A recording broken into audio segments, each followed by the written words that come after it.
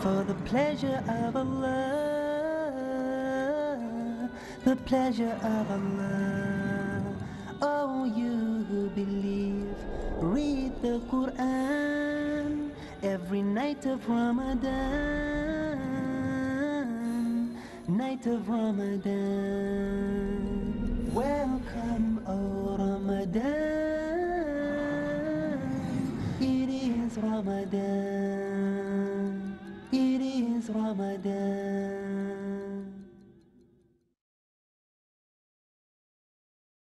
প্রিয় মুসলিম এবং অমুসলিম ভাই ও বোনেরা, আসসালাম আলাইকুম ওরহমতুল্লাহি ওবারাকাতুহু আমাদের স্রষ্টা আল্লাহ তালার দয়া, শান্তি এবং রহমত আপনাদের সবার উপরে বর্ষিত হোক। আমাদের অনুষ্ঠানে স্বাগতম Ramzan a date with doctor Zakir. আমি আপনাদের হোস্ট ইউসুফ চেম্বার্স। আর আজকে আমাদের আলোচনার টপিক হচ্ছে রোজা রাখার উপকারিতা। ডক্টর জাকির আবারও আপনাকে স্বাগত জানাচ্ছি সালাম দিয়ে। আসসালামু আলাইকুম ওরহমতুল্লাহি ওবরাকাতুহু ওয়ালাইকুম আসসালাম রহমতুল্লাহ আজকের টপিক রোজা রাখার উপকারিতা ডক্টর জাকির। এর আগের পর্বটাতে আমরা আলোচনা করেছিলাম রোজা রাখার উদ্দেশ্য নিয়ে। আর সেই উদ্দেশ্যগুলোর মধ্যে আমরা ধর্মীয় আর আধ্যাত্মিক উপকারের কথা বলেছিলাম। রোজা রাখার আর কোনো উপকারিতা কি আছে, যেগুলো আপনি আমাদের দর্শকদের বলতে পারবেন?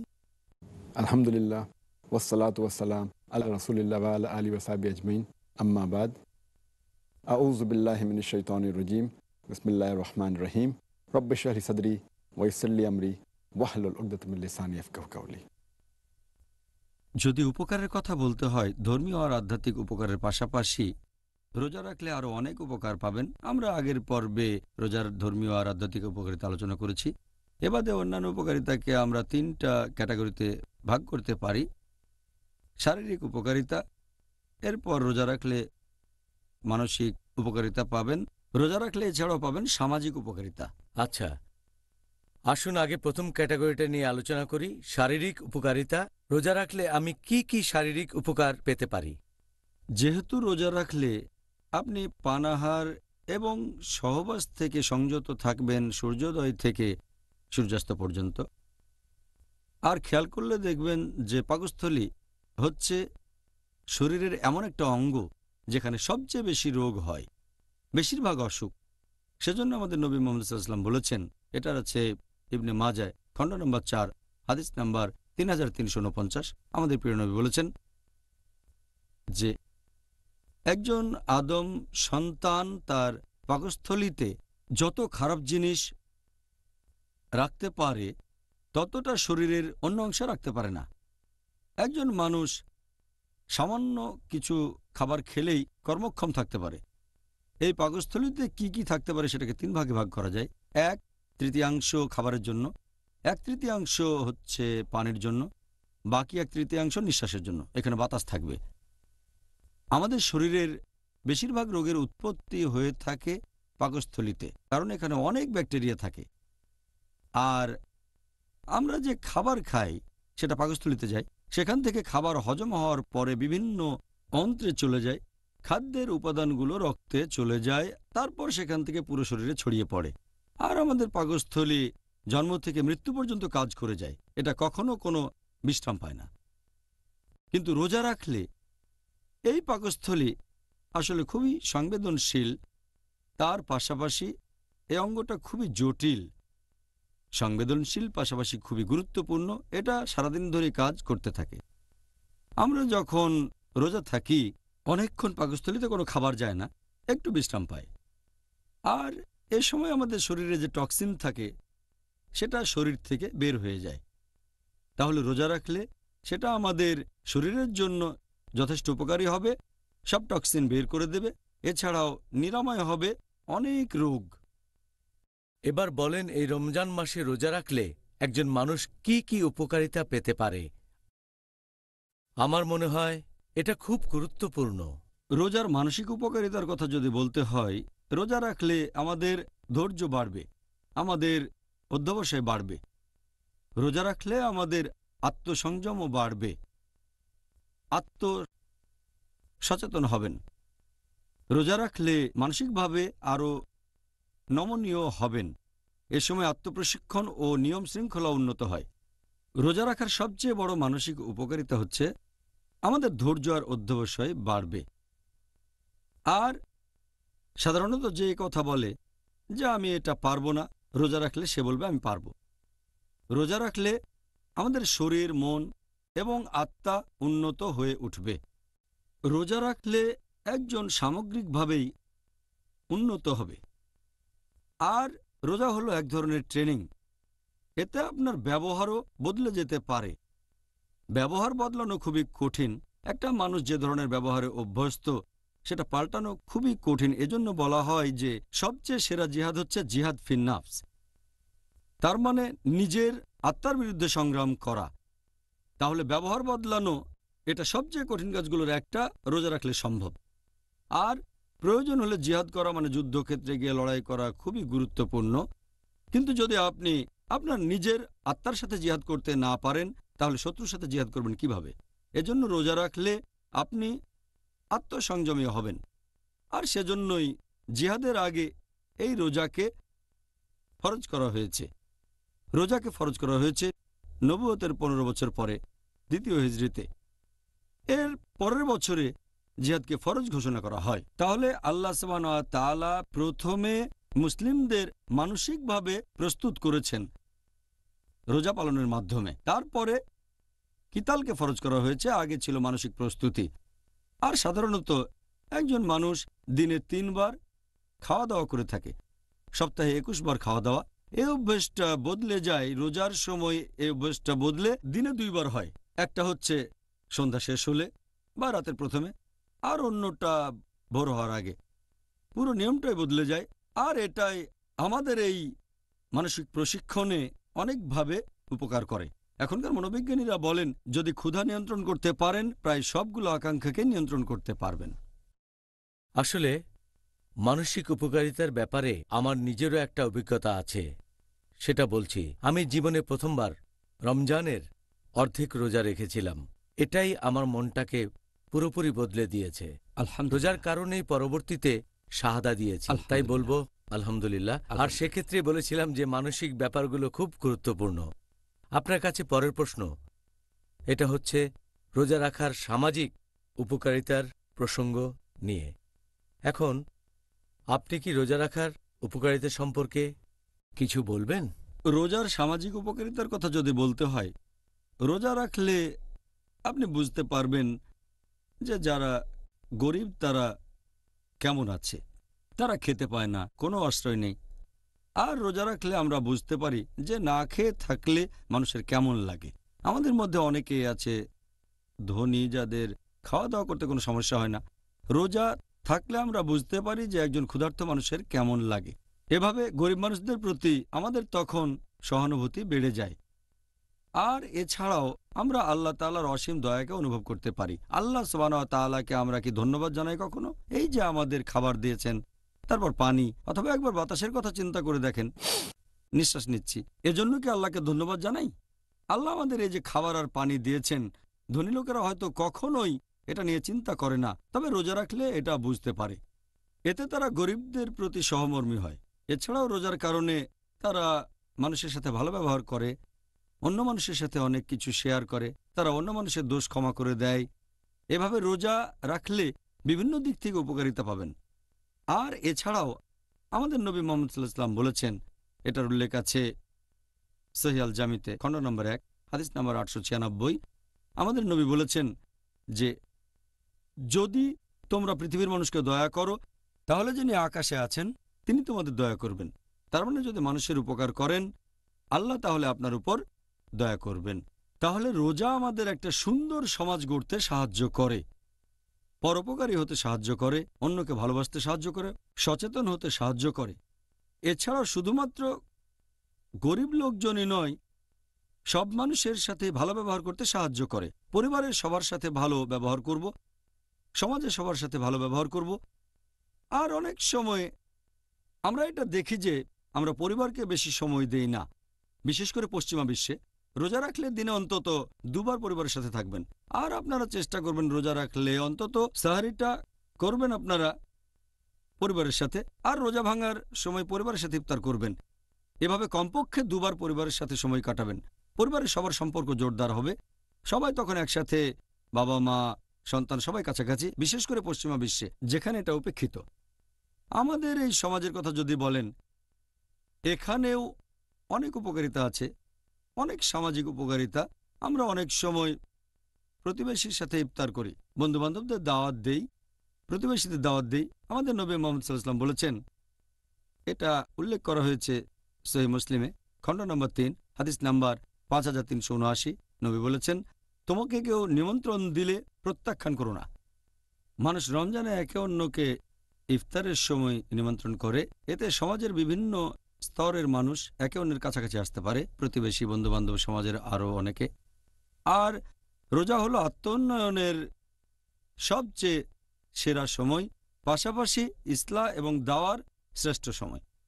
মসজিদে লোকজনের সাথে দেখা হবে। রমজান মাসে তুলনামূলকভাবে বেশি মানুষ মসজিদে যায়। এই লোকজনের সাথে কথাবার্তা বলবেন, তারপর তারাবির নামাজ পড়বেন। এই সময়ে আপনি ইসলা দিতে পারেন, অমুসলিমদের কাছে দাওয়া দিতে পারেন। আর আপনি ঠিকই বলেছেন যে এই পবিত্র রমজান মাসে আপনার মন বদলে যেতে পারে। আল্লাহ আপনাকে হেদায়েত করবেন, এটা গুরুত্বপূর্ণ। আর সেজন্য আমাদের নবী মোহাম্মদ সাল্লাহ সাল্লাম বলেছেন, এটার উল্লেখ আছে তিরমিজিতে, হাদিস নাম্বার এক যে আল্লাহ দয়াবর্ষণ করেন তাদের উপর যারা অন্য মানুষের উপর দয়া করে থাকে। নবী আরও বলেছেন, এই হাদিসটাতে আছে, যদি তুমি ক্ষমাশীল হও, পরম ক্ষমাশীল তোমাকে ক্ষমা করবেন। নবী আরও বলেছেন, যারা পৃথিবীতে আছে তাদের প্রতি দয়া দেখালে যিনি আকাশে আছেন তিনি তোমাকে দয়া করবেন। তাহলে রোজা সমাজ গঠনে সহযোগিতা করে মানুষজন একে অন্যের কাছাকাছি আসে। জাজাকাল্লা খায়ের। প্রিয় ভাই ও বোনেরা ইনশাআল্লাহ আবার দেখা হবে এখন একটা ছোট্ট বিরতি। আসসালাম আলাইকুম ওরহমতুল্লাহি ওবরাকাতুহু It is Ramadan. It is Ramadan. প্রিয় মুসলিম এবং অমুসলিম ভাই বোনেরা আসসালামু আলাইকুম। এই অনুষ্ঠানে আবারও স্বাগতম রমজান আর ডেট উইথ ডক্টর জাকির আমি আপনাদের হোস্ট ইসুফ চেম্বার্স আর আজকে আলোচনার টপিক রোজা রাখার উপকারিতা। ডক্টর জাকির এবারে আপনার কাছে পরের প্রশ্ন, আপনি রোজা রাখার শারীরিক উপকারিতা বলতে গিয়ে বেশ কয়েকটা পয়েন্টের কথা বলেছিলেন। বিভিন্ন ধরনের শারীরিক উপকার। এখন রোজা রাখার মেডিকেল উপকারিতাগুলো কি কি হতে পারে? রোজা রাখলে আপনি অসংখ্য মেডিকেল উপকারিতা পাবেন। এখানে আমি কয়েকটা বলছি। হৃদস্পন্দন নিয়মিত হয়, কিছুটা রিল্যাক্স পায়। হার্টের আর্টারির উপর প্রেশার অনেক কম পড়ে আর শরীর থেকে কমে যাবে চর্বি, কোলেস্টেরল, পাশাপাশি বিভিন্ন অ্যাসিড। এতে লিভারের উপর প্রেশারটাও অনেক কম পড়ে। রোজা রাখলে হজমের বিভিন্ন গ্রন্থি থেকে যে রস, সেটা নিঃসরণও কমে যায়, আলসারের সম্ভাবনা কমে যায়, কিডনিতে পাথর হওয়ার সম্ভাবনা কমে যায়, যদি কেউ রোজা রাখে। নন ইনসুলিন ডায়াবেটিসের ক্ষেত্রেও রোজা রাখলে উপকার পাবেন আপনারা। রোজা রেখে শরীরের ওজন কমাতে পারেন। রোজা সামগ্রিকভাবে আমাদের পুরো হজমের প্রক্রিয়াটাকে উন্নত করে। নার্ভাস সিস্টেমের উপকার হয়। রোজা রাখলে শরীরে টক্সিনের পরিমাণ কমে যায়। শরীরের রোগ প্রতিরোধ ক্ষমতা বেড়ে যায়। রোজা রাখলে তাড়াতাড়ি শরীর বুড়িয়ে যাবে না। রোজা রাখলে আমাদের আয়ু বেড়ে যেতে পারে। রোজা রাখলে আমাদের শরীরে বেশি করে টি সেল তৈরি হয়, যেগুলো জীবাণু ধ্বংস করে। আর রোজা সামগ্রিকভাবে আমাদের শরীরকে মেরামত করে নতুন বানিয়ে ফেলে। এছাড়াও রোজা রাখলে আমরা অনেক রোগ থেকে মুক্ত হতে পারি। ধরেন কোনো লোক একটা বিশেষ রোগে ভুগছে, তখন রোজা থাকলে তার উপকার হবে। যেমন ধরেন বিভিন্ন ধরনের হৃদরোগ অথবা উপকার পেতে পারেন অ্যাজমার ক্ষেত্রে, অথবা আর্থ্রাইটিস বা হজমে গণ্ডগোল বিভিন্ন চর্মরোগের ক্ষেত্রেও উপকার পেতে পারেন। নন ইনসুলিন ডায়াবেটিসের ক্ষেত্রেও উপকার পাবেন আপনারা। এরকম সারাদিন ধরে বলে যেতে পারি। এছাড়াও যারা বিভিন্ন জিনিসে আসক্ত, তারা রোজা রাখলে সে আসক্তি থেকে মুক্তি পেতে পারে মানে হারাম থেকে। হয়তো মেডিকেলীয় জিনিসটা খারাপ, যেমন ধরেন ধূমপান, অথবা কেউ হয়তো অ্যালকোহলিক, অথবা কেউ হয়তো একেবারে চেন স্মোকার, রোজা রাখলে সে এই বদভ্যাস ত্যাগ করতে পারে, এ আসক্তি। এবারে আপনার কাছে আমাদের পরের প্রশ্ন, রোজা রাখার উপকার সম্পর্কে বিভিন্ন বৈজ্ঞানিক তথ্য আছে। আর কিছু মানুষ আছে, আমি জানি না তারা সঠিক না ভুল, তারা বলে যে রোজা রাখার বেশ কিছু ক্ষতিকর দিক আছে। ক্ষতি হতে পারে মানসিক, সামাজিক, শারীরিক ইত্যাদি বিষয়। এটা কি ঠিক? রোজা রাখা নিয়ে অনেক বিজ্ঞানী এখন পর্যন্ত অনেক গবেষণা করেছে যে রোজা রাখলে আমাদের শরীরের উপর কি প্রভাব পড়ে। আর বিজ্ঞানীরাই আমাদের বলেছেন, যখন কোনো লোক খাবার খায়, তখন তার হজম শক্তি বেড়ে যায়। যখন খাবারের পরিমাণ কমে যায় বা রোজা রাখে, তখন হজম শক্তিও কমে যায়। সেটা কমে প্রায় বিশ পার্সেন্ট আর যদি পরপর কয়েকদিন রোজা রাখে এক মাসের জন্য, তখন এই শক্তিটা আরও কমে আসে। তাহলে রোজা রাখলে হজম করার ক্ষমতা কমে যায়। এরকম আরেকটা রিসার্চ বলছে বেশ কিছু মুসলিম পুরুষ এবং নারীকে নিয়ে এটা করা হয়েছে, যারা রোজা রাখে। এখানে দেখা গেছে যে সবার ওজন সামান্য কিছুটা কমে গেছে। তবে গ্লুকোজের লেভেলটা বেড়ে গেছে। আর অন্যান্য সব উপাদানের কথা যদি বলতে হয়, সেগুলোর পরিবর্তন হয় না। হোক, সেটা টেস্টোস্টেরন বা কর্টিক্যাল সেল অথবা হতে পারে সোডিয়াম, পটাশিয়াম, ইউরিয়া, হতে পারে কোলেস্টেরল অথবা এইচডিএল হাই ডেন্সিটি লাইপোপ্রোটিন, হতে পারে এলডিএল, লো ডেন্সিটি লাইপোপ্রোটিন অথবা টিজি ট্রাইগ্লিসারাইড। আমাদের শরীরে এই উপাদানগুলো একই রকম থাকে। রোজা রাখলে এগুলোর উপর কোনো প্রভাব পড়ে না। শুধুমাত্র গ্লুকোজের পরিমাণ বেড়ে যায় আর ওজন সামান্য কিছু কমে যায়। এছাড়াও ইরানে আরেকটা রিসার্চ করা হয়েছিল। কিছু লোক প্রত্যেকদিন রোজা ছিল প্রায় সতেরো ঘণ্টা ৩০ দিন ধরে। রমজান মাসে দেখা গেল, এতে করে পুরুষদের বংশবৃদ্ধির হরমোনে কোনো প্রভাব পড়েনি, টেস্টোস্টেরনে। এছাড়াও এইচপিটি এর উপর কোনো প্রভাব পড়েনি, থাইরয়েড হরমোনেও কোনো পরিবর্তন হয়নি। এরকম অনেক রিসার্চ হয়েছে। আরেকটা রিসার্চের কথা এখানে বলতে পারি যেটা নাম দেওয়া হয়েছিল, ভালো স্বাস্থ্যের মহিলাদের উপর রমজানের প্রভাব, যে উপায়ে তারা ওজন ঠিক রাখতে পারেন। ওজন ঠিক রাখা। সেখানে দেখা গেল রোজা রাখার সময় কোনো পরিবর্তন হয় না, যদি শারীরিক গঠনের কথা বলেন, ওজন একরকম, কোনো কিছু বদলায়নি।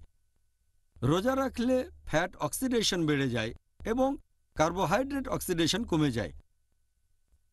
আর খেয়াল রাখতে হবে যে পশ্চিমা বিশ্বের ডাক্তাররাও এরকম কথা বলেন যে আমাদের এ সময় খেয়াল রাখতে হবে বিলিরুবিন আর গ্লুকোজের অবস্থা। রোজার সময়। আরও একটা রিসার্চ বলছে যে রোজা রাখলে শরীরে গ্লুকোজের পরিমাণ বেড়ে যায় বিলিম্ফোসাইট সেলে সংবেদনশীলতা বাড়ে।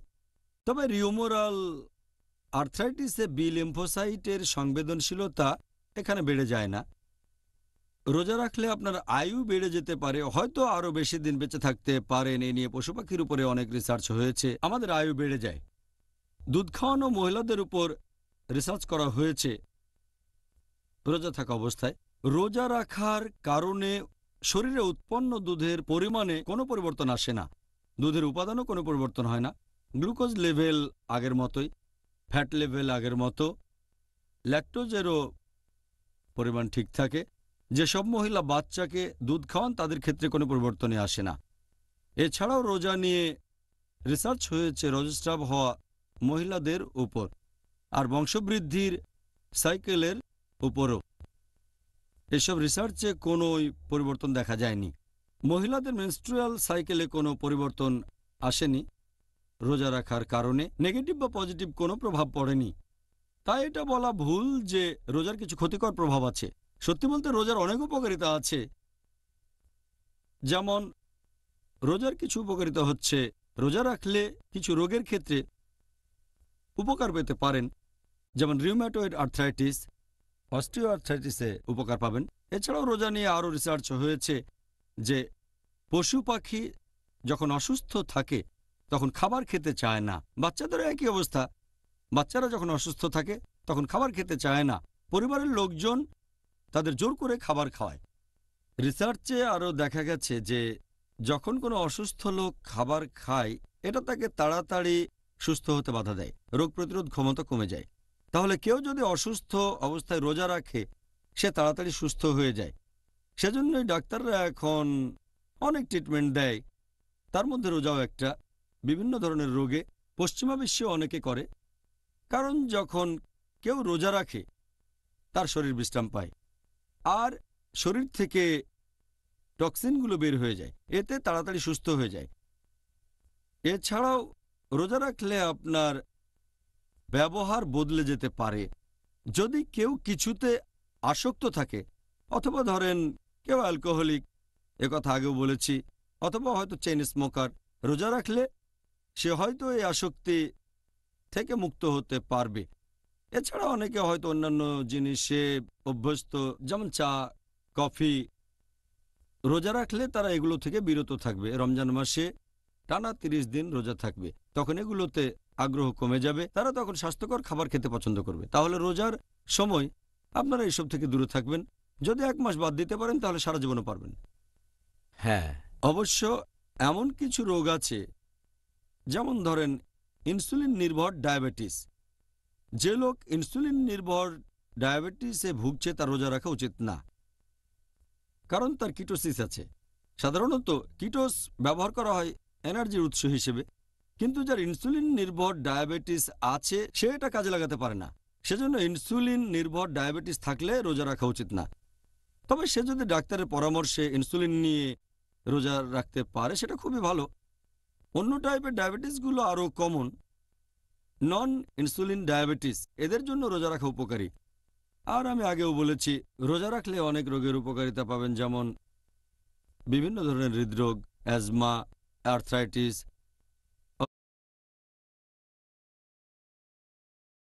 অথবা হজমে কোনো রকম গণ্ডগোল এরপর বিভিন্ন চর্মরোগে এরকম অনেক রোগের কথা বলা যায় রোজা রাখলে এক্ষেত্রে উপকার পাবেন। ভাই ও বোনেরা ইনশাআল্লাহ আবার দেখা হবে একটা বিরতির পরে। আসসালাম আলাইকুম রহমতুল্লাহি ওবরাকাতুহু It is Ramadan. প্রিয় মুসলিম এবং অমুসলিম ভাই ও বোনেরা আসসালাম আলাইকুম। এই অনুষ্ঠানে আবারও স্বাগতম রমজান আর ডেট উইথ ডাক্তার জাকির আমি আপনাদের হোস্ট ইউসুফ চেম্বার্স আর আজকে আলোচনার টপিক রোজা রাখার উপকারিতা। আসসালামু আলাইকুম। ওয়ালাইকুম আসসালাম রহমতুল্লাহ বরকাত ডক্টর জাকির ব্যাপারটা তো বেশ ইন্টারেস্টিং মনে হচ্ছে। মানে এই রিসার্চগুলো এই রিসার্চ কি মুসলিমরা করেছে নাকি অমুসলিমরা? এই রিসার্চগুলো মুসলিম, অমুসলিম দুই ধরনের মানুষ করেছে। আর এরকম কয়েকশো অমুসলিম বিজ্ঞানী আছেন যারা রোজা নিয়ে গবেষণা করেছেন। শুধু মুসলিমই করেননি, তুলনামূলকভাবে অমুসলিমরা বেশি রিসার্চ করেছে। তবে মুসলিমরাও আছে, যেমন ধরেন একটা বই আছে fasting a way of life লিখেছেন অ্যালেন কট। তিনি লিখেছেন যে রোজা রাখলে শরীরের বেশ কিছু অঙ্গ প্রত্যঙ্গ বিশ্রাম পায়। আমাদের ডাইজেস্টিভ ট্র্যাক আর এছাড়াও সেন্ট্রাল নার্ভাস সিস্টেম এভাবে পুরো শরীর। তিনি একজন অমুসলিম। একজন ভারতীয় ডাক্তারও রিসার্চ করেছিলেন, তার নাম শান্তি রাংওয়ানি তিনি বলেছেন, যখন কেউ রোজা রাখে, তখন সে খাবার খায় না। ফলে খাবার, খাওয়ার কারণে যে টক্সিন তৈরি হতো, সে টক্সিন আর তৈরি হয় না। আর শরীরে আগের যে টক্সিন জমা হয়ে ছিল, সেটা শরীর থেকে বের হয়ে যায়। তাহলে রোজা রাখলে আপনার শরীর থেকে সব টক্সিনগুলো বের হয়ে যাবে, পুরো শরীরটা তখন বিশুদ্ধ হয়ে যাবে। বলেছেন অমুসলিম? অবশ্য মুসলিমরাও করেছেন। একটা রিসার্চ করেছেন ডক্টর সুলেমান জর্ডানের আম্মানে ইউনিভার্সিটি হসপিটালে। সেখানে রিসার্চ করেছিলেন বেশ কিছু পুরুষ ও মহিলার উপরে। বিয়াল্লিশ জন পুরুষ আর ২৬ জন মহিলা। রিসার্চ করা হয়েছিল রোজা থাকা অবস্থায়। তাদের শরীরে পরিবর্তন নোট করা হয়েছিল। আর সেখানে দেখা গেল, ওজন সামান্য একটু কমেছে। গ্লুকোজের পরিমাণ বেড়ে গেছে। তবে শরীরের অন্যান্য উপাদানগুলো, testosterone, cortisol, sodium, potassium, urea, এই সবগুলো আগের মতোই আছে। কোনো পরিবর্তন হয়নি এই উপাদানগুলোর। শুধু গ্লুকোজের পরিমাণ বেড়েছে আর ওজন সামান্য কমেছে। আর কিছুই না। অমুসলিমরা রোজা নিয়ে অনেক রিসার্চ করেছে। একবার এরকম একদল অমুসলিম বিজ্ঞানী তারা আফ্রিকায় একটা রিসার্চ করল, যেসব জায়গায় দুর্ভিক্ষ হয়েছে। সেখানে রিসার্চের ফলাফলে দেখা গেল যারা দুর্ভিক্ষের কারণে না খেয়েছিল তারা সবাই একই ক্যাম্পে কিছু লোক খাবার খেয়েছে আর কিছু না খেয়ে আছে। যারা না খেয়ে আছে, তাদের টিভি আর ম্যালেরিয়া হওয়ার সম্ভাবনা অনেক কম। তাহলে রোজা রাখলে টিবি আর ম্যালেরিয়াকে ভালোভাবে প্রতিরোধ করা যায়। আসলে এটা আল্লাহর দয়া আলহামদুলিল্লাহ। ভাবতে পারেন যেহেতু না খেয়ে আছে তারা এজন্য তাদের টিবি আর ম্যালেরিয়া হওয়ার সম্ভাবনা কম। আল্লাহ আকবর। অমুসলিমদের করা এইসব রিসার্চে দেখা যায় রোজা রাখলে আয়ু বেড়ে যায় বেশি দিন বেঁচে থাকবেন আর এতে তাড়াতাড়ি বুড়িয়ে যাবেন না।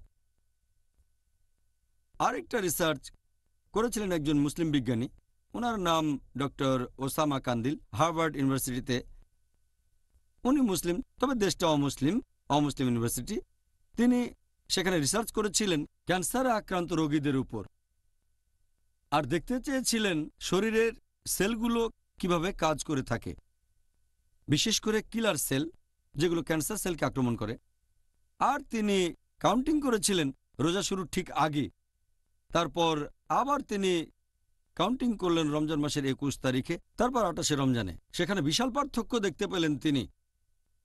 একুশ রমজান আর আটাশ রমজানের পরে শরীরে কিলার সেলের সংখ্যা অনেক বেড়ে গেল, আর এই সেলগুলো ক্যান্সার সেলকে আক্রমণ করে।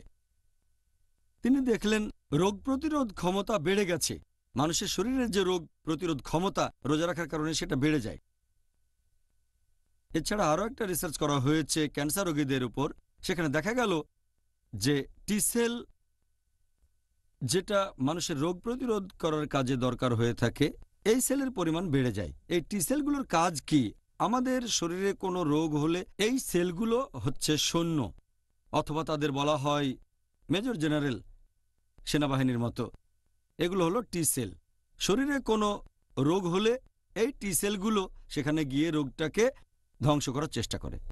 এইডস নামে যে রোগ এটা আক্রমণ করে এই টি সেলকে তাই এই রোগের নাম অ্যাকোয়ার্ড ইমিউন ডেফিসিয়েন্সি সিন্ড্রোম তাহলে রোজা রাখলে টি সেল বেড়ে যাবে আর মানুষের রোগ প্রতিরোধ ক্ষমতাও বেড়ে যাবে। আমি আর একটা রিসার্চের কথা বলি। এটা করেছেন একজন ইউরোপিয়ান অমুসলিম ভদ্রলোকের নাম ডক্টর জেফরি। তিনি বলেছেন যে রোজা শুধু মানুষ রাখে এমন নয়, এই রোজা রাখে অনেক পশুরা এমনকি গাছপালাও। তিনি উদাহরণও দিয়েছেন, শীতপ্রধান দেশে যেসব পশু থাকে, যেখানে তুষারপাত হয়, তারা আলাদা আলাদা থাকে, তখন কিছুই খায় না, শীত নিদ্রায় চলে যায়। এখানে উদাহরণ হিসেবে ব্যাঙের কথা বলা যেতে পারে, এরা শীত নিদ্রায় চলে যায়। এ সময় তারা খায় না, রোজা রাখে। উনি সেখানে উদাহরণ হিসেবে আরও বলেছেন যে, এমনকি গাছপালাও শীতকালে পানি না পেলে রোজা থাকে। কিন্তু তারপর যখন বসন্তকাল আসে, তখন গাছপালা সবুজ পাতায় ভর্তি হয়ে যায়, ফুলে ফলে ভরে যায়। তিনি পরামর্শ দিয়েছেন যে, প্রত্যেক মানুষের প্রতি বছর কমপক্ষে চল্লিশ দিন রোজা থাকা উচিত। আমাদের মুসলিমদের জন্য রমজানের এক মাস রোজা রাখা ফরজ প্রায় তিরিশ দিন ধরে।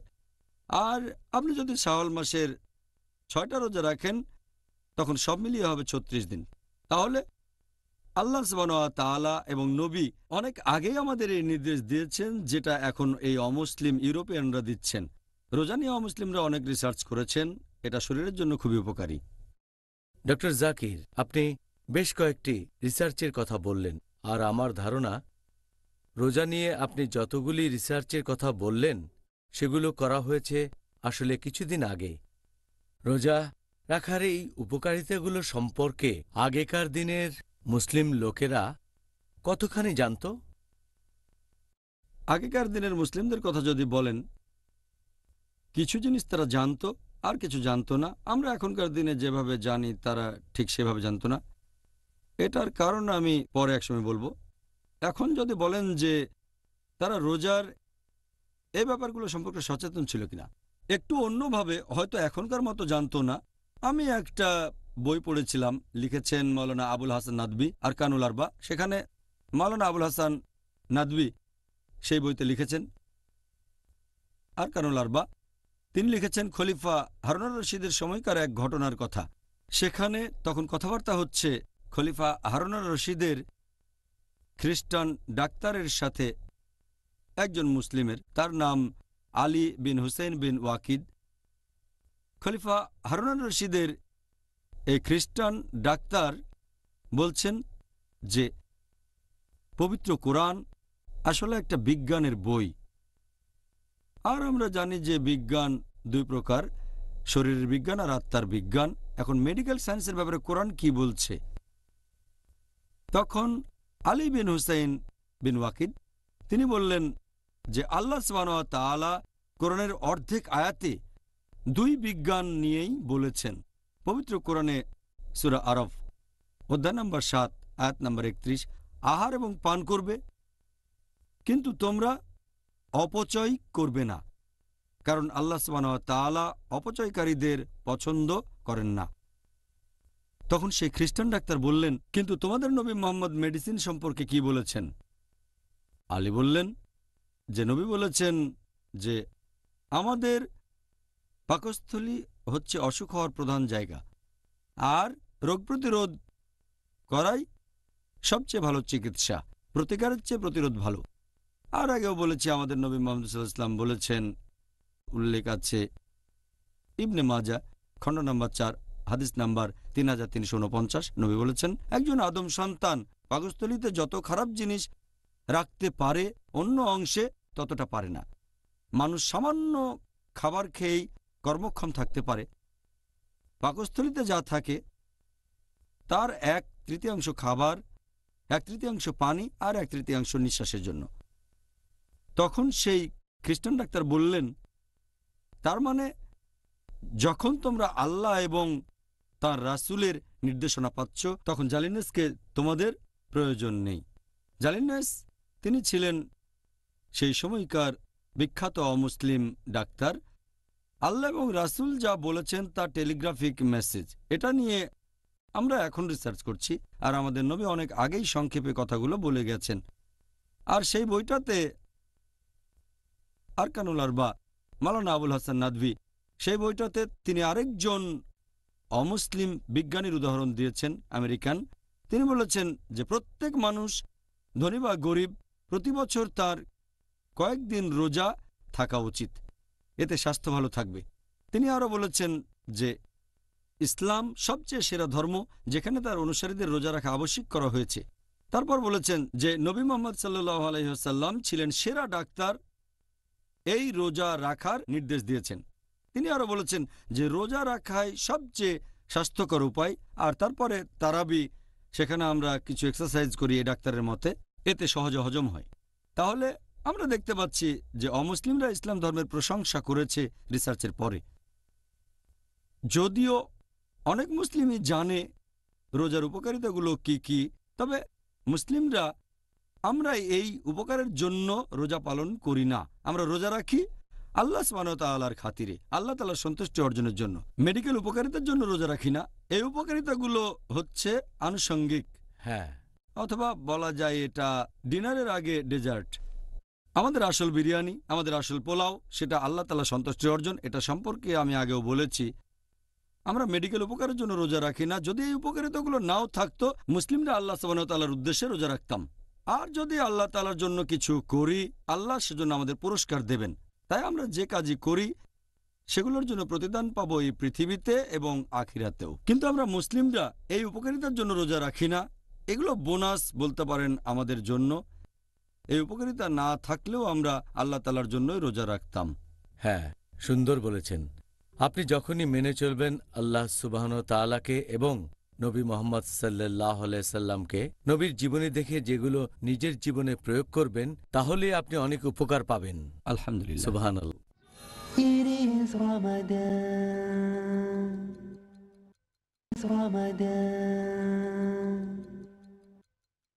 প্রিয় মুসলিম এবং অমুসলিম ভাই ও বোনেরা আসসালাম আলাইকুম। এই অনুষ্ঠানে আবারও স্বাগতম রমজান আর ডেট উইথ ডক্টর জাকির। আমি আপনাদের হোস্ট ইউসুফ চেম্বার্স আর আজকে আলোচনার টপিক রোজা রাখার উপকারিতা। আসসালাম আলাইকুম। ওয়ালাইকুম আসসালাম রহমতুল্লাহ বরকাত ডক্টর জাকির আল্লাহ যেন আমাদের উপকারগুলো অর্জনের সুযোগ দেন। রোজা রাখার উপকারিতা নিয়ে অনেক আলোচনা এখনও বাকি আছে। আমার তো মনে হচ্ছে তিনটা পর্ব ধরে আমাদের এই টপিক নিয়ে আলোচনা করা উচিত ছিল।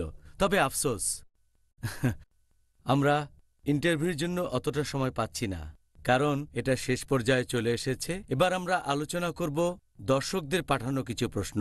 এগুলো পাঠিয়েছে পিস টিভির দর্শকরা। তাহলে আমরা শুরু করি। প্রথম প্রশ্ন এটা পাঠিয়েছেন আমাদের একজন দর্শক যে অনেক মুসলিম দিনের বেলায় রোজা রাখে, তবে রাতে তারা অতিরিক্ত খাবার খায়। এটা করে রমজান মাসে। অনেকেই রমজান মাসে রাতের বেলায় অতিরিক্ত খাবার খায়, অন্যান্য মাসে তারা এত বেশি খাওয়া দাওয়া করে না। কম খাওয়ার কারণে লোকে যে মেডিকেল উপকারিতা পায়, সেই উপকারটা কি এই মানুষগুলো পাবে যারা বেশি বেশি খায়? এখন মেডিকেল উপকারিতার কথা যদি বলেন, অনেকে ইফতারের পরে অতিরিক্ত খাওয়া দাওয়া করে। আমরা জানি রমজান মাসে দুর্ভাগ্যজনকভাবে কিছু মুসলিম ইফতারের সময় অতিরিক্ত খাওয়া দাওয়া করে থাকে, আবার সারা রাত ধরে খাওয়া দাওয়া করে, তারপর রোজা রাখে। এটা আল্লাহ সুবাহ তাআলার নির্দেশের বিরুদ্ধে। আল্লাহ বলেছেন সুরা আরফ অধ্যায় নম্বর সাত, আয়াত নম্বর একত্রিশ, আহার এবং পান করবে। কিন্তু অপচয় করবে না। আল্লাহ সুবাহ তাআলা অপচয়কারীদের পছন্দ করেন না। রোজার সময় লোকজন খাবার কেনে, তারপর ইফতার পার্টি দেয়, সেখানে অনেক ধরনের খাবার থাকে, অনেক খাবার নষ্ট হয়। এভাবে তারা অনেক টাকা অপচয় করে, যেটাতে হয়তো গরিব মানুষের উপকার হতো। অবশ্যই ইসলাম ধর্ম এমন কথা বলে না। আর আমি আগেও বলেছি আমাদের নবী মোহাম্মদ সাল্লাহ ইসলামের এই হাদিসটার উল্লেখ করা হয়েছে ইবনে মাজায় খণ্ড নম্বর চার, হাদিস নাম্বার তিন হাজার তিনশো উনপঞ্চাশ, যে আদম সন্তান তার পাকস্থলিতে যত খারাপ জিনিস রাখতে পারে, ততটা অন্য কোথাও রাখতে পারে না। একজন মানুষ সামান্য খাবার খেয়ে কর্মক্ষম থাকতে পারে। পাকস্থলিতে কি থাকবে? সেটাকে তিন ভাগে ভাগ করা যায়। এক তৃতীয়াংশ খাবার, এক তৃতীয়াংশ পানি, এক তৃতীয়াংশ নিঃশ্বাসের জন্য সেখানে থাকবে বাতাস। এর উপর নির্ভর করে বলা যায় অতিরিক্ত খাবার নবীর সুন্নতের বিরুদ্ধে, আল্লাহ সাবানতালার নির্দেশের বিরুদ্ধে। আর এই লোক রোজার উপকারিতাগুলো পাবে না। রোজা মানে বিরত থাকবেন খাবার থেকে, তারপর খাবেন, কিন্তু অতিরিক্ত না। রোজার যে সব উপকারিতার কথা বলেছি, যেমন মেডিকেল উপকারিতার, বেশিরভাগই পারবে না অর্জন করতে, কিছু হয়তো পারবে।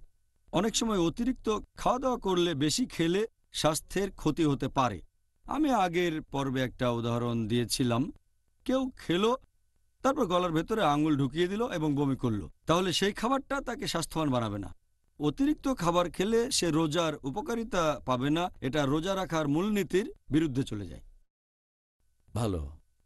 আপনি বেশ সংক্ষেপেই উত্তর দিলেন, আর আমাদেরও এটাই দরকার, কারণ আমাদেরও এখনও অনেক প্রশ্নের উত্তর দিতে হবে। দ্বিতীয় প্রশ্ন, এটাও করেছেন আমাদের একজন দর্শক, যদি কোনো মুসলিম এরকম উদ্দেশ্য নিয়ে রোজা রাখে যে সে তার শরীরের ওজন কমাবে মানে ডায়েটিং সে কি রোজা রাখার পুরস্কারগুলো পাবে নাকি পাবে না? পুরুষ বা মহিলা? আপনি যদি রোজা রাখার পুরস্কারের কথা বলেন, ইসলাম অনুযায়ী বেহেস্ত ক্ষমা পাওয়া ইত্যাদি, আমাদের নবী এটা বলেছেন তিরমিজিতে, বুক অব ফাস্টিং, হাদিস নাম্বার দুই হাজার তিনশো একত্রিশ, যে আগের রাতে যে লোক রোজা রাখার নিয়ত করবে না, তার রোজা কবুল হবে না। নিয়ত করাটা আবশ্যিক। নিয়ত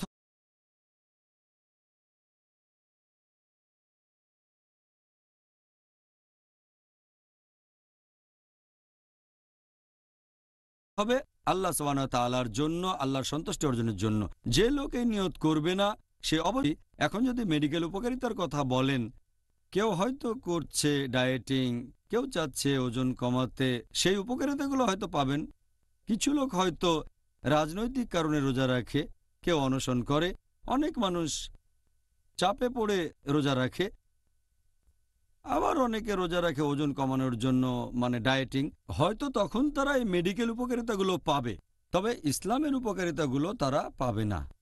আর আল্লাহ পবিত্রকরণে বলেছেন, সুরা হুদ, অধ্যায় নম্বর এগারো, আয়াত নম্বর পনেরো ও ষোলো, যদি কেউ কোনো কাজ করে পার্থিব সুখের জন্য, দুনিয়াতে আল্লাহ তাদের কাজের পূর্ণ ফল দান করেন, কম দেওয়া হয় না।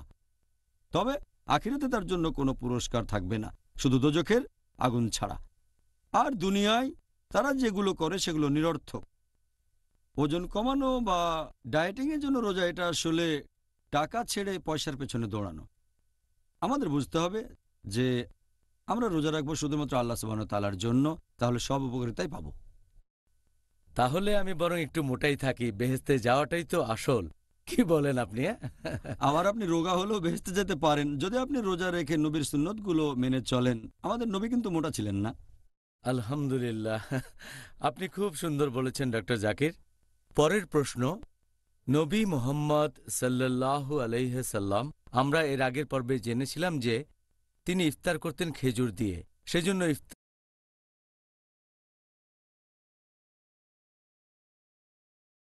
ইফতারের সময় খেজুর খাওয়াটাকে গুরুত্বের সাথে সুপারিশ করা হয়েছে। এখন খেজুরের উপকারিতা সম্পর্কে কিছু বলবেন? খেজুরে ফ্যাটের পরিমাণ খুবই কম, দশমিক দুই থেকে দশমিক পাঁচ পার্সেন্ট খেজুরের মধ্যে প্রায় পনেরো প্রকার মিনারেল আর সল্ট আছে, ছয় প্রকার ভিটামিন থাকে, প্রোটিন থাকে দুই দশমিক তিন থেকে পাঁচ দশমিক ছয় পার্সেন্ট এর মধ্যে উচ্চমাত্রার ফাইবার থাকে, ছয় দশমিক চার থেকে এগারো দশমিক পাঁচ পার্সেন্ট এক এক ধরনের খেজুর এক এক রকম। আর আপনি দেখবেন, যেহেতু এতে উচ্চমাত্রায় কার্বোহাইড্রেট থাকে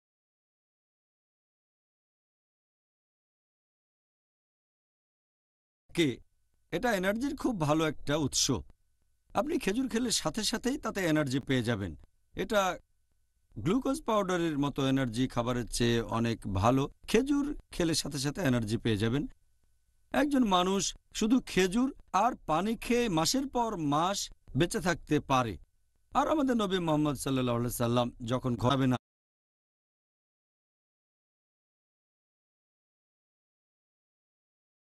বাড়লেও সামান্য। তাই লোকে ভয় পায় যে খাবার খেলে ওজন বেড়ে যেতে পারে। খেজুরে সে ভয় নেই।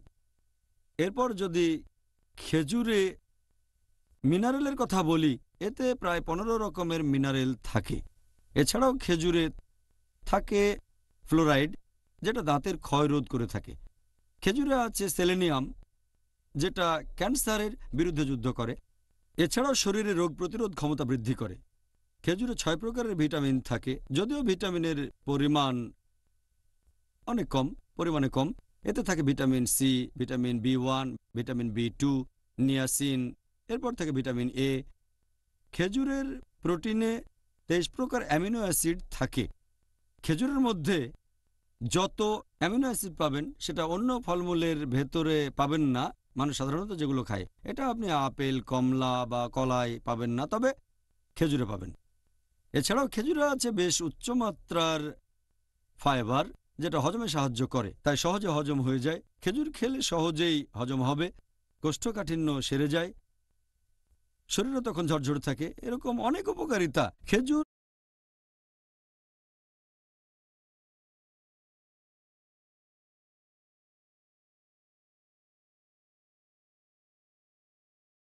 একটা স্বাস্থ্যকর খাবার। আর বর্তমানে আলহামদুল্লাহ গত চল্লিশ বছরে খেজুরের উৎপাদন বেড়ে গেছে প্রায় তিন গুণ আর পৃথিবীর জনসংখ্যা বেড়ে হয়েছে দুই গুণ। তাহলে মানুষের তুলনায় খেজুরের উৎপাদন অনেক বেড়েছে কারণ এটা একটা স্বাস্থ্যকর খাবার এনার্জি পাবেন সাথে সাথে। পরের প্রশ্ন একজন দর্শক জানতে চাচ্ছেন এর মধ্যে পার্থক্য কি রোজা রাখা আর অ্যানারক্সিয়া? অ্যানারক্সিয়া কথাটার মানে হচ্ছে ক্ষুধা কমে যাওয়া। এটা মেডিকেল টার্ম ক্ষুধা কমে যাওয়া। আর এটা এক ধরনের রোগ। যারা ডায়েটিং করে, তারা খাওয়া দাওয়া কম করে।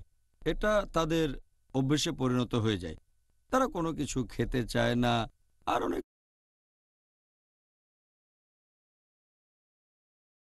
সময় এমন অবস্থা যাকে বলা হয় অ্যানারক্সিয়া নার্ভোসা এটা মানসিক অসুখ একটা। তারা খেতে ভয় পায় যে খেলেই ওজন বেড়ে যাবে। এটা একটা মানসিক রোগে পরিণত হয়। তাহলে অ্যানারক্সিয়া মানে ক্ষুধা কমে যাওয়া।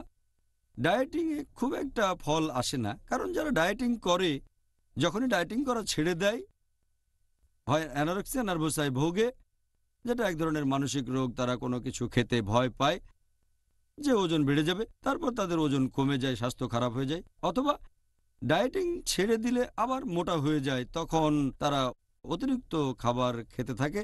এটা নিয়ে পর্যন্ত অনেক রিসার্চ হয়েছে। উনিশশো পঁচানব্বই সালে মিশিগানে একটা রিসার্চ সেখানে পাঁচশো সাতান্ন জন ভার্সিটি পড়ুয়া তরুণীদের উপর রিসার্চ করা হয়েছিল। তাদের মধ্যে অষ্টআশি পার্সেন্ট ডায়েটিং করেছিল। মাত্র দুই পার্সেন্ট অতিরিক্ত খাবার তারা খেত। তবে ছয় মাস পরে এই দলে উনিশ পার্সেন্ট তরুণী চলে আসলো। অতিরিক্ত খেতে লাগল। কারণ যখনই ডায়েটিং বন্ধ করবেন আপনি তখন বেশি খেতে চাইবেন আর মোটা হয়ে যাবেন। অথবা আপনার অবস্থা হতে পারে এর উল্টোটা অ্যানারক্সিয়া নার্ভোসা যে আপনি কিছুই খাবেন না এতে আপনার স্বাস্থ্যের ক্ষতি হবে। সুবাহ আল্লাহ আল্লাহ যেন আমাদেরকে এটা না দেন। পরের প্রশ্ন রোজা রাখা আর অনাহারে এই দুইটার বৈজ্ঞানিক বিষয়ের পার্থক্যটা কি? রোজা রাখা বৈজ্ঞানিকভাবে আমরা করি চব্বিশ ঘণ্টার মধ্যে, প্রায় বারো ঘণ্টার মতো। যখন শরীরে মজুদ করা কার্বোহাইড্রেট এনার্জির কাজে ব্যবহৃত হয়, সেটাকে বলা হয় রোজা। যখন এটা শুরু হয়, প্রথম দিকে আমাদের শরীর খাবার থেকে এনার্জি নেয়। যখন খাবারের পরিমাণ কমে যায়, মজুদ কার্বোহাইড্রেট থেকে যখন আমরা এনার্জি নিতে থাকি, সেটাই হচ্ছে রোজা। তবে শরীরে মজুদ কার্বোহাইড্রেট যখন শেষ হয়ে আসে, পুরোপুরি ব্যবহৃত হয়, তখন কাজ করে হচ্ছে প্রোটিন। যখন প্রোটিন থেকে শরীর এনার্জি নেয়, সেটা অনাহারে থাকা।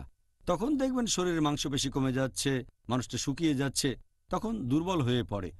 বৈজ্ঞানিকভাবে যখন শরীরে মজুদ কার্বোহাইড্রেট শেষ হয়ে যায় আর প্রোটিন ব্যবহৃত হতে থাকে, সেটাই হচ্ছে তখন অনাহারে থাকা। আর এই শরীরের জন্য মোটেই ভালো নয়, রোজা রাখা শরীরের জন্য ভালো। অনাহারে থাকা ভালো না। ওয়াও জাজাক আল্লাহ খায়ের সুন্দর বলেছেন ডক্টর জাকির। আমরা আজকে রোজা রাখার উপকারিতা সম্পর্কে জানলাম। আমি আশা করি আর দোয়া করি আল্লাহ তালার কাছে যাতে করে আমরা রমজান মাসে রোজা রাখার সবগুলো উপকারিতাই অর্জন করতে পারি। আপনি আজকে আমাদেরকে রোজা রাখার যেসব উপকারিতাগুলো সম্পর্কে জানালেন জাজাকাল্লা খায় জাজাকাল্লা শুক্রিয়া। প্রিয় ভাই ও বোনেরা, আল্লাহ যেন আমাদের এই পবিত্র মাসের সবগুলো উপকারিতা অর্জন করা সৌভাগ্য দান করেন। আর এখন কোনো অজুহাত দিতে পারবেন না, কারণ আপনারা এখন রোজা রাখার উপকারগুলো জানেন, যেমন আধ্যাত্মিক, ধর্মীয়, শারীরিক, মানসিক, মেডিকেল ইত্যাদি। এখন আর কোনো অজুহাত নেই।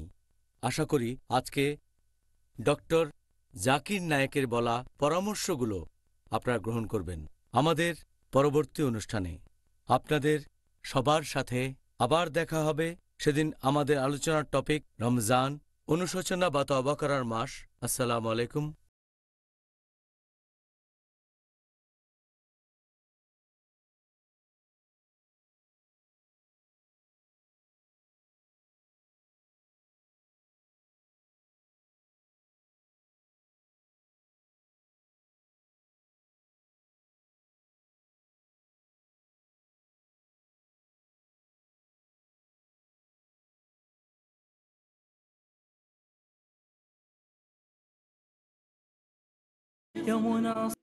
মানুষ